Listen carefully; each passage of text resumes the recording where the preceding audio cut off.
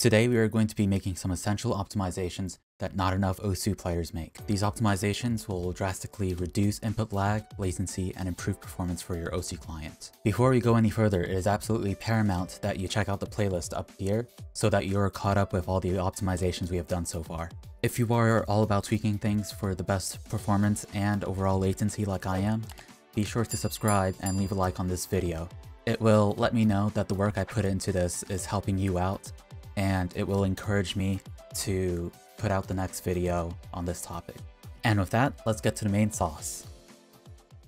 Okay, so the first thing we're going to do is download a program called MSI Utility V2. The link for this download will be down in the description, so be sure to go down there and open the page and go ahead and click on download and it should download as a .zip file. Once you have downloaded it, go ahead and unzip the zip file to your desired location and we are going to go ahead and right click on the .exe and run as administrator. Now a list of things is going to show up here and we can refresh if we want to. Now heed this warning, do not enable this for any USB 2 SATA controllers or any kind of device you are not sure about. If you do enable MSI mode for any of those things, you will brick your system. So be very careful. Basically, the main thing we are wanting to do is enable MSI mode for our GPU. For NVIDIA users, it will just show up as NVIDIA GeForce GTX or RTX, whatever card your card is, and go ahead and tick this box off and set the interrupt priority to high. And now what we can also do is go ahead and enable MSI mode for our high definition audio controllers. So there's one right here, and then there is one right here. So I personally have two. It may differ from system to system, but I just have two in my list here. And once you have checked those boxes, go ahead and click on apply, close the program, and you will need to restart your system. The benefits to doing this are increased performance and lower latency. If you want to know more information about what this does exactly, I highly recommend checking out Freethy's channel. He does a better job of explaining these kind of things than I ever could. Next, we are going to install a program called Park Control. So what we are going to do is download Park Control via this button right here, and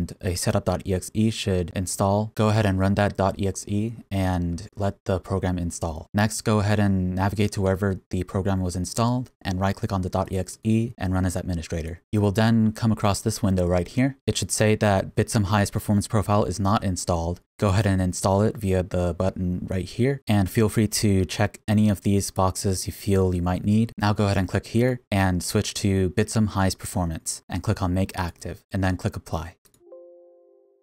Now you can press OK and we are done with park control. Now you want to have this running in the background at all times to make sure that the program is doing what it needs to do. In order to have this program automatically start up whenever you turn on your computer, we are going to go ahead and go into our system tray, right click on park control, settings, and then check off start at user login. And do be sure to double check that your active power profile is set to Bitsum highest performance and not high performance or any other power plan. And with that, we're ready to move on to the next thing. Next, I'll need you to go down to the description once again and click on the link that goes to Power Settings Explorer you should come upon this right here. All I need you to do is press download and it should start downloading as a .zip file. And once you have extracted that zip file into your desired location, go ahead and open that file and right click on Power Settings Explorer.exe and run as administrator. Now something like this should pop up. Now if you watched the first video in this series, you should remember that we went over our power plan and you may remember how some of the settings may not have been visible for you while they were visible for me. This is basically how we will reveal those settings. So what we are going to do is click anything under the setting column. Now press Ctrl F and type in allow throttle. Now go ahead and press next and it should automatically highlight allow throttle state. We're going to go ahead and uncheck this box right here Next, we're going to go back to the search bar and type in USB and go ahead and click on previous and it should automatically highlight USB 3 link power management. Go ahead and uncheck that box. And that's all we need to do for this program. So go ahead and close the program. And now we're going to navigate to our power plan. So go ahead and press Windows key plus Q and search for power plan. It should open the control panel. Before we click on change advanced power settings, make sure that you are under the Bitsum highest performance plan. Go ahead and click on change advanced power settings. And now what I need you to do go ahead and expand all the options here. And I need you to copy what I have right here. Turn off hard disk after never, slideshow setting paused, power saving mode, setting maximum performance, sleep after never, allow wake timers disable, USB selective suspend setting, disable, USB 3 link power management, off, power button action, shut down, sleep button action, sleep, PCI Express, link state power management,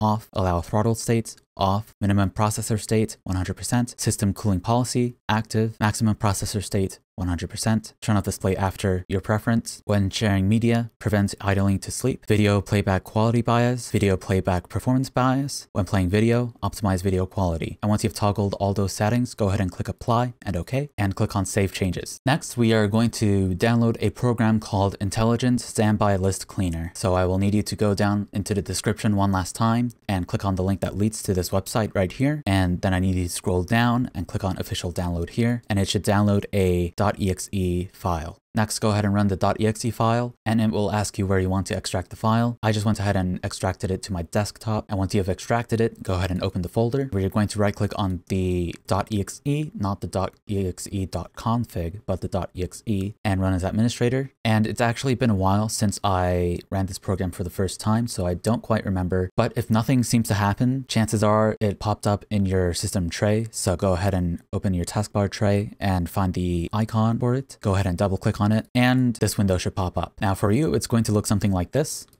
If some of it is grayed out, just go ahead and press stop and it will enable us to change these settings. Now before we go any further, we are going to run some commands in command prompt. So go ahead and press Windows key plus Q and type in CMD. Go ahead and right click and run as administrator. Now I will need you to go down into the description and look for bcd edit and there should be a list of commands you can copy and paste. The first command we are going to paste is bcd edit slash delete value use platform clock. I don't need to do this as I have already done it before. I'm just pasting it here in the window just for demonstrative purposes. For more information on what this first command does exactly, feel free to check out Freethy's channel, more specifically his power tweaks video. The next command we're going to paste is bcd edit backslash set disable dynamic tick Yes. Now what this will do is disable a laptop power savings feature that's baked into Windows. This is completely useless if we're on a desktop computer. If you are on a laptop and you prefer having a power savings feature that will preserve battery life over the potential performance gains you can get from disabling dynamic tick, feel free to skip pasting this command. The last command we're going to run is bcd edit backslash set use platform tick Yes. Go ahead and press enter. And now I will need you to close command prompt and go ahead and restart your system. Once you have restarted your system, navigate over to your intelligent standby list cleaner file. Once again, go ahead and open it. Right click on the .exe, run as administrator. And once again, if the window doesn't pop up, navigate down to your system tray and double click on the icon for the program. If some of the options here are grayed out, go ahead and click on stop. Go ahead and check off these two boxes right here and check off this box right here. And what we are going to do is go to this box right here and type in 0.50. That is the timer resolution we want on our system. And having that timer resolution set to 0.5 milliseconds is going to increase overall system stability. It will increase stability and performance in games you run and increase overall responsiveness, including responsiveness while playing OSU. Next, we're going to make sure that this box right here has the number 1024. And for this box, for you right now, it will most likely say 1024. But what we will need to do is get at our our calculator and, and take your total system memory. So whether that is 4 gigabytes, 8 gigabytes, 16 gigabytes, 32 gigabytes, or more, go ahead and half that RAM capacity of yours and multiply it by 1024. For example, I have 16 gigabytes of RAM installed in my system. So I went ahead and multiplied 1024 by half of 16. So I went ahead and multiplied it by 8. And turns out I actually had the wrong number, but it wasn't off by much. It was only off by 4 megabytes. The number that I got was 8192. That is the correct number you want to have for free memory is lower than if you have 16 gigabytes of RAM installed in your system. Now we are going to go ahead and click on start and you should see that your current timer resolution should go from whatever number it was to 0.5. Before when we ran this program, you may have seen that the current timer resolution was 0.498, 0.496, or 0.501, something that was not exactly on 0.5 milliseconds. That was not the optimal time resolution we wanted to have. But now that we've run those commands in the command prompt, our current time resolution is at 0.5 milliseconds on the dot. So now you can go ahead and minimize Intelligent Standby List Cleaner, double check to make sure that it is in your system tray, and it is important to make sure that that program runs in the background at all times. Every time you start up your PC make sure to run Intelligent Standby List Cleaner as administrator and let it run minimized in the background. If you have any questions or suggestions to make, be sure to leave them down in the comments below or pay a visit over at my Twitch where I stream on Tuesdays and Thursdays. Hopefully you found all three videos in this guide so far helpful in making your OSU experience that much more better. I will be making another video going into what hardware choices will optimize your setup for the best input lag and latency possible. So if you are interested in that, be sure to be subscribed and stay notified for that video, and hopefully I'll see you in the next one. Happy clicking!